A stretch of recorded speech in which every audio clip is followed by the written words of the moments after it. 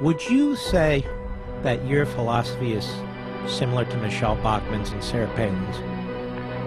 I, I would say so, yes. We need to phase Medicare and Social Security out in favor of something privatized. We know that the government never gives So don't us- fix it. You're saying don't do any I'm of these saying fixes. it can't be fixed. It's broken. You want to repeal this government-run healthcare uh, fiasco, correct? That's right. I, I took a little criticism for it yesterday. They thought that I should find something good in that bill to save, and I said there was nothing good in this law.